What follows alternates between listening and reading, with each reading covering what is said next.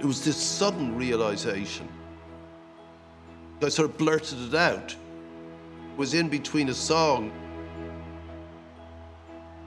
This is the best day of my life. I hadn't realized that that was what I was heading towards.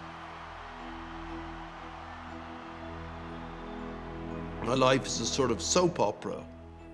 You know, it's not drama, it's not opera, it's a soap opera. It's like ludicrous a lot of the time. I could play music, I could write songs. I'd been obsessed with rock and roll since I was a kid. We didn't have money, and so there wasn't television, telephone, fridges, there wasn't any of that. My father wasn't there, my mum was dead. I was by myself at home, a kid. There was no one to make me do homework, so I failed my exams. I just read and listen to the radio. The one rock and roll station in Europe, Radio Luxembourg. Is your station of the stars. Radio Here are these young men and women talking about whole other universes, other possibilities. And here's the words to use, here's the rhetoric. It's called rock and roll. Here they were articulating something otherwise inexpressible to me at that time. But that's right. Yeah, those words by the people of our generation, whose names we all know, were what I lived by.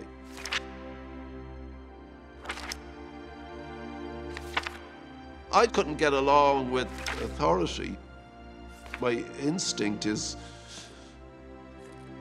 to jib against it. It's, I know it's childish. I mean, of course, I cooperate with it often. Bono and I go along and meet leaders. It's not we've worked out anything good cop, bad cop. You know, I'm bad cop. He's there being, you know, embracing and like, you know, doing the Bono thing, which he does brilliantly. And I'm there sort of going, you know, like a kid, like in the background, going, and like, yeah, yeah, you know, I don't actually do that, but my head is doing that. I'm not against the fact that we have to have people who sort of run the show. I personally am against people in authority. The paradox at the, the heart of individualism is that it only works when we act in concert for the common good. You can't just be John Wayne. John Wayne nearly always needed the 7th Cavalry appearing at the last minute on the hill.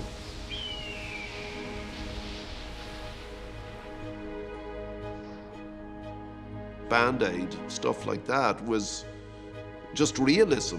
My band, the Boomtown Rats, was coming to the, towards the end of its career. If I do this song, it's not going to be a hit, and therefore we won't make money to try and stop what was happening in Africa. So practically, what do I do? I get the friends I'd made in 10 years in rock and roll, especially those now having hits, together to do this song. We just go underneath it. Okay. So. Feed the world, let them know it's Christmas time and feed the world. What we're trying to do is raise as much money as we can to send as much food and as many drugs that we don't absorb as we can to um, the affected areas of Africa, whether it's Ethiopia or Sudan, it doesn't matter. Why, at this time, did you decide to do this? It was the six o'clock news at a time when there were really only two, two channels. BBC, that's the news. Six o'clock, that's the main news. In from work, just before tea, you watch it. They gave it 10 minutes at the top of the hour, 10 minutes. And it was a brilliant piece of journalism. Michael Buerk made you see and feel this horror. There was this outpouring of rage.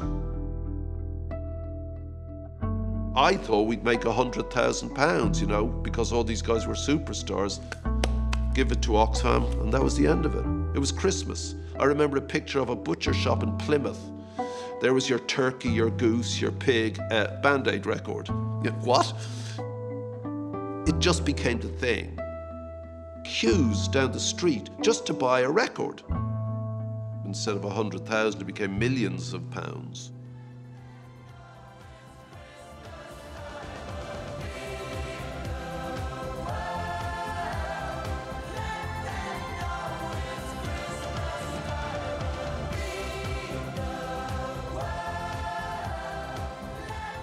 I get a phone call husky voice. Hey, Geldof. I said, Yes, who is that? It's Harry Belafonte. Here's this grand old Marxist on the phone to me. You know, he's a bit of a hero of mine. He says, I'm ashamed that you Brit kids did this thing. And I said, Harry, I'm Irish, you know. And he goes, Yeah, whatever, Brit, Irish, you know. I'm going to get Mike up to call you. I said, Okay. So, like a couple of days later, Hi, Bob. So I went over for USA for Africa. First, I would like you to meet Bob Geldof, who is really the inspiration for this whole thing. To put you in the mood of the song you're about to sing, which hopefully will save millions of lives, I think it's best to remember that the price for life this year is a piece of plastic seven inches wide with a hole in the middle. Before I went to California for the USA for Africa thing, uh, I went through the Sahel region of Africa where the famine was raging. I mean, 30 million people were about to die of hunger. Uh, preposterous. I'd never been, you know. I'd certainly never been in sort of the killing fields, if you like. The things I'd seen, you know, were just.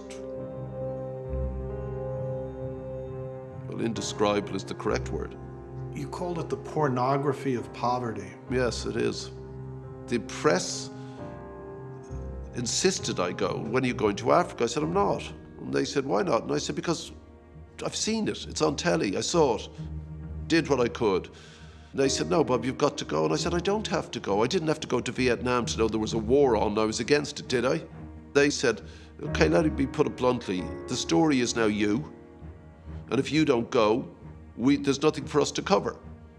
You didn't want to be photographed with any of the victims. Of course, I didn't want to be photographed. The starving infant. Yeah, it's horrific. Allow them at least their dignity in their agonizing death throes. You know, allow, allow them that. It struck me that bizarrely and counterintuitively, mankind is at its most elegant at their death. Men are most elegant at their death. They would give their last grain of wheat, which they'd scrabble in the ground for, elegantly, like they kept their dignity. And they'd give it to their child. I don't want to be photographed with that child.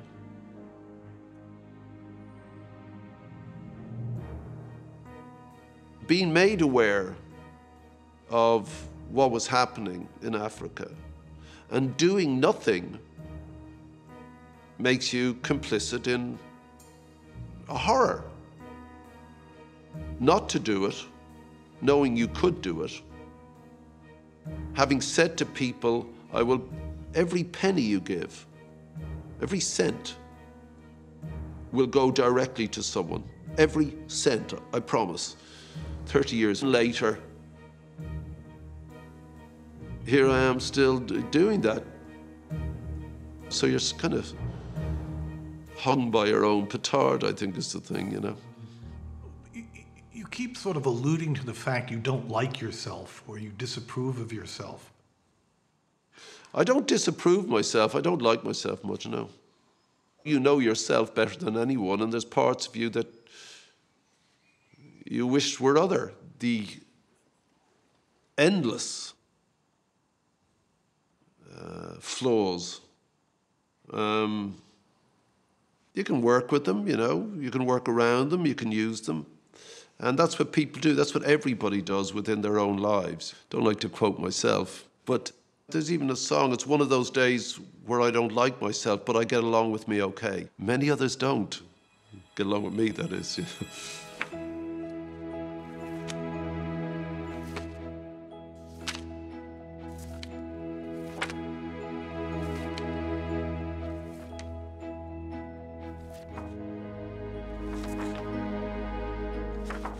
hunger, lack of education, lack of health, corruption, conflict are just symptomatics of poverty. It's, it's economic, and the way to deal with that is through politics. The only way to engage in politics is to have a very powerful lobby with you. Again, it's paradox of individualism. Act in concert together for something else. And I thought, well, okay, let's just get the greatest artists in the world who sell the most records. Everybody watched, and I could go to the White House and to the Kremlin and to Downing Street and the Elysee Palace with 1.3 billion people in my back pocket. That's pretty big lobby. With Live Aid, was there a moment when you realized this is going to work? I was very scared a lot of the time. I mean, properly frightened. You're a pop singer. Suddenly you're talking to Margaret Thatcher. You're talking to these people. You think, am I making a fool of myself?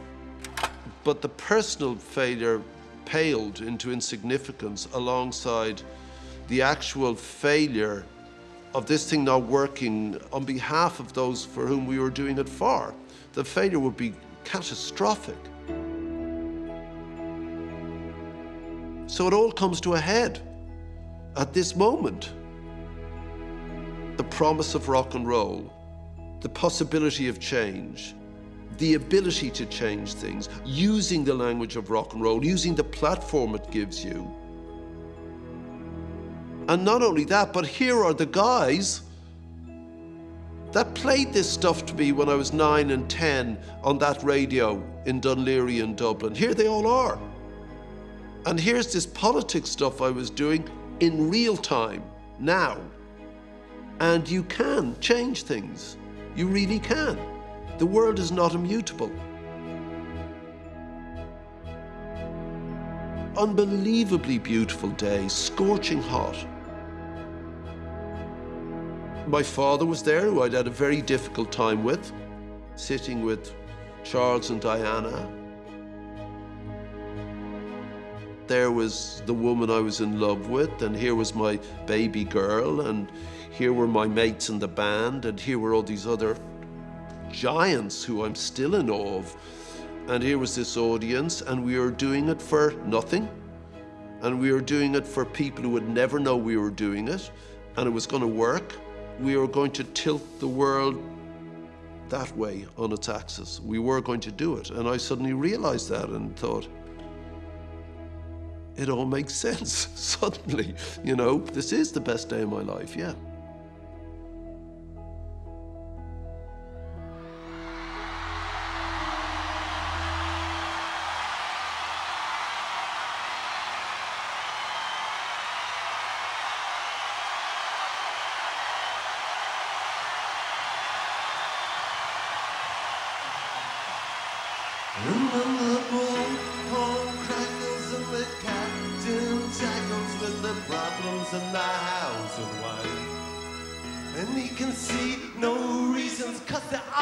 No reasons. What reason do you need to die? Die! Oh, oh, oh. and the silicon chip inside a head gets switched to overload. Oh, and nobody's gonna go to school today. She's gonna make them stay at home. And daddy doesn't understand it. As gold. And you can see no reasons, cause there are no reasons. What reason do you need to be sure? Whoa, whoa.